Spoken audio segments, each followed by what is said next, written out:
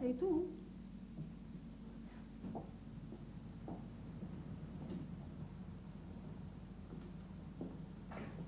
Ma non dovevi essere al catechismo a quest'ora?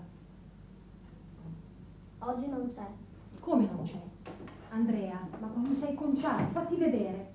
Abbiamo giocato a pallone. A pallone, e questa maglietta tutta strappata. Ma guarda come sei ridotto. E questi graffi qua? E lasciami. Andrea, adesso mi devi spiegare.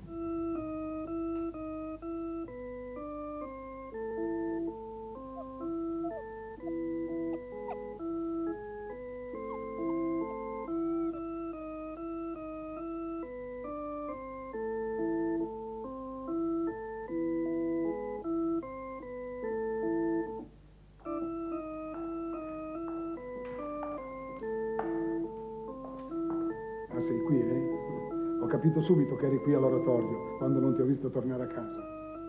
Cosa credi, eh? Che non abbia saputo delle tue prodezze? Incredibile, una cosa incredibile. A scuola poi, dentro la scuola. E guardami quando ti parlo. E smettila di suonare quell'aggeggio.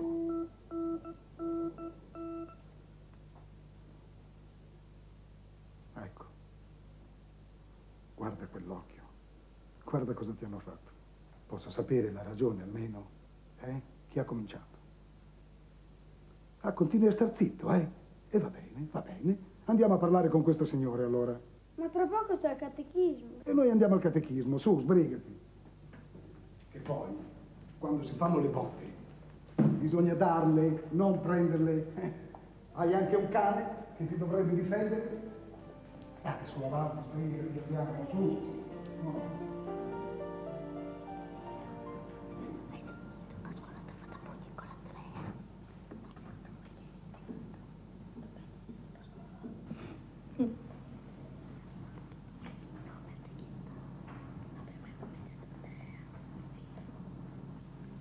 Allora, che c'è? No, no, niente. Sì, Andrea Pascolotto dove sono? Boh. Hanno fatto a botte a scuola. Oh, scusa, lasciala parlare. Hanno fatto a botte a scuola e Andrea ha dato un pugno a Pascolotto proprio qui nell'occhio. Sono picchiati. Gli avevo detto di lasciare stare lo zainetto, già tre volte gliel'avevo detto. E per questo l'hai picchiato, rischiando di fargli male. Hai fatto una cosa molto brutta, Andrea.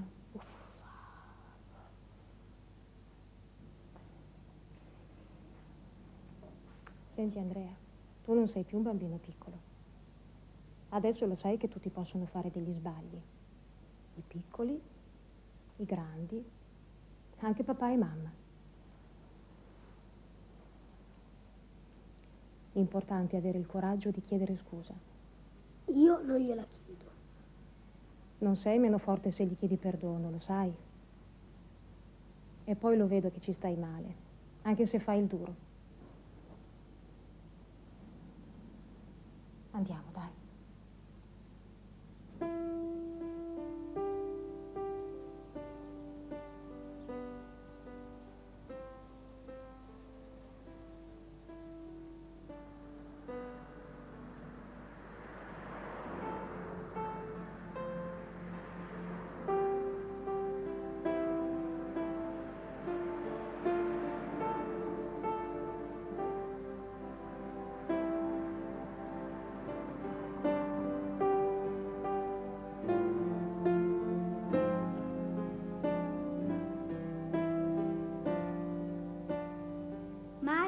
Facciamo niente oggi. Perché? Siamo pochi, noi tre soli. Dopo gli altri rimangono indietro. Mm, sì. Forse avete ragione. Oggi non vale la pena di andare avanti.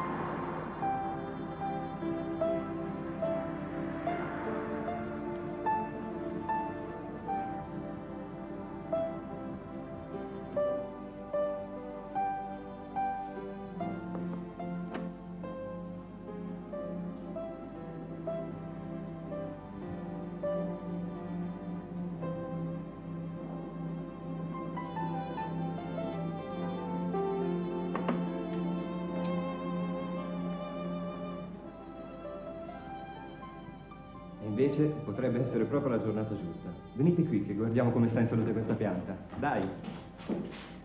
Eh? Lui mica tanto bene. Da un po' di giorni che non mi innaffio. Poverina, è proprio a terra. Vedete, bambini, il perdono è un po' come l'acqua per questa pianta. Se tu non gliela dai, questa pianta diventa brutta, si secca e poi muore. Ecco perché dobbiamo perdonarci tutti quanti. Scusa Mario, ma se uno è cattivo, perché devo perdonare? Perché altrimenti rimane nella sua cattiveria. Un po' come questa pianta che se non gli dai l'acqua poi si secca. Tutti abbiamo bisogno di essere perdonati, perché non è che siamo più buoni degli altri. Però io pugni non ne ho mai dati a nessuno. Vabbè, non avrai fatto a pugni, però sarai stata cattiva in qualche altro modo, non so, con tua madre, con tuo fratello. Eh sì, è vero. Quando facciamo qualcosa che non va, se poi gli altri ci guardano male e ci tengono il muso, allora noi ci sentiamo più soli e facciamo peggio. Però invece se qualcuno poi ci fa un sorriso e ci dà una mano, allora ci viene la gioia e vogliamo diventare migliori. Mario, ogni volta che uno fa qualcosa di sbagliato dobbiamo perdonarlo. Ma sapete cosa disse Gesù? Che bisogna perdonare 70 volte 7.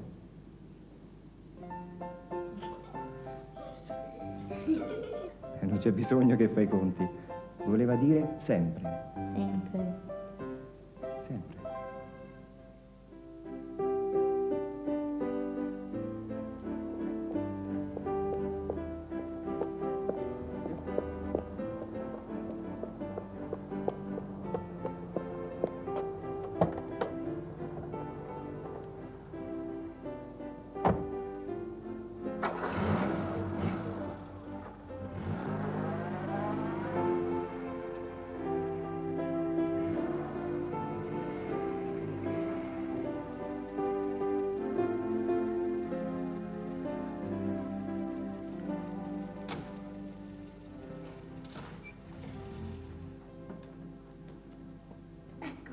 Posto. Bravo.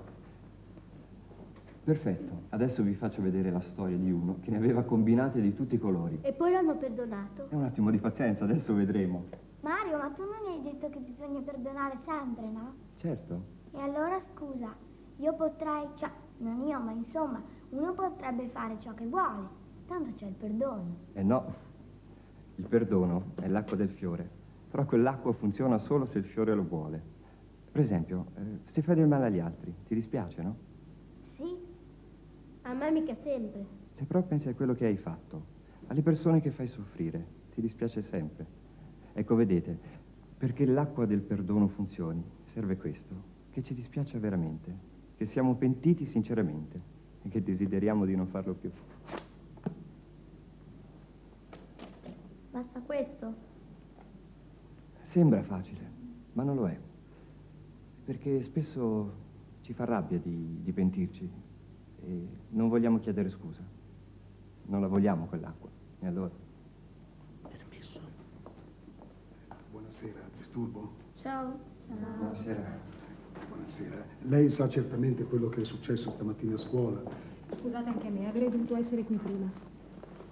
No, no, signora, giusto in tempo. E visto che, che ci siamo tutti, se vogliamo chiarire. Sì, fra poco potremo chiarire, però noi stavamo iniziando a guardare una storia. Non dura molto, se volete guardarla con noi. Volentieri. eh, se non ci vuole molto tempo. No, no, venite.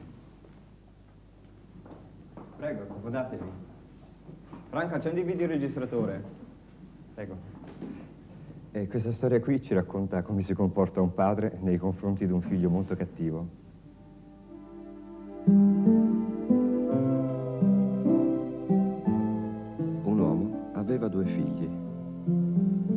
Più giovane disse al padre, Padre, dammi la parte del patrimonio che mi spetta. E il padre divise fra loro le sostanze. Dopo non molti giorni, il figlio più giovane, raccolte le sue cose, partì per un paese lontano.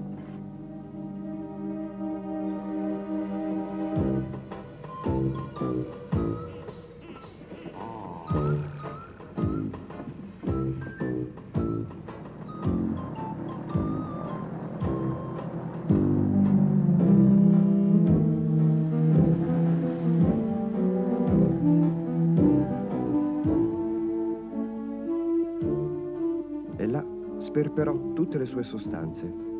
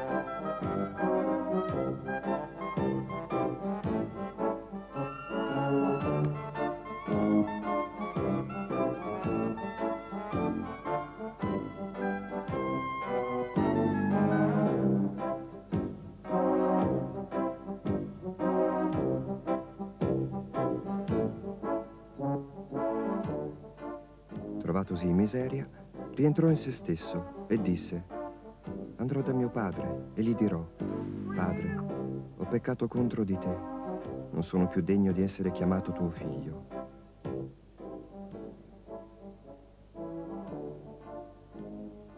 Finalmente, quel giovane partì e si incamminò verso suo padre.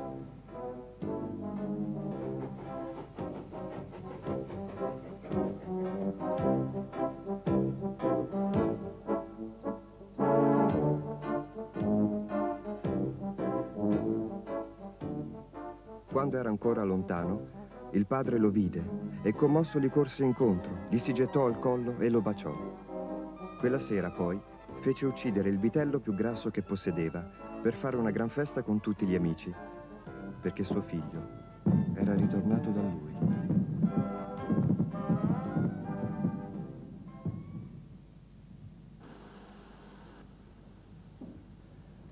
Ecco chi è Dio per noi. Un padre che non punisce, ma che perdona per farci crescere.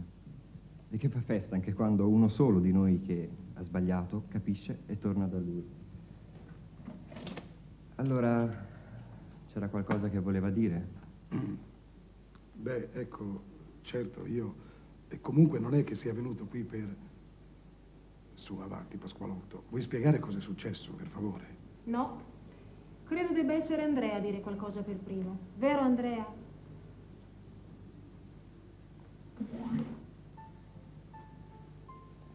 Io... mm, Beh sì, insomma, mi dispiace. No, sono io che ho cominciato. Ti chiedo scusa. Allora, eh? Ve la volete dare questa mano? Beh, credo che a questo punto si dovrebbe festeggiare. A questo ho pensato io. Ah, guardate quante paste. Su, bambini, ringraziate la signora. Alla volta. Uno alla volta, fermi, fermi, ve ne do io, ve ne do io, fermi, una alla, una alla volta. Piano, piano, cadono, cadono. Quella la crema, tieni. Poi, questo è il cioccolato. Questa, questa, questa.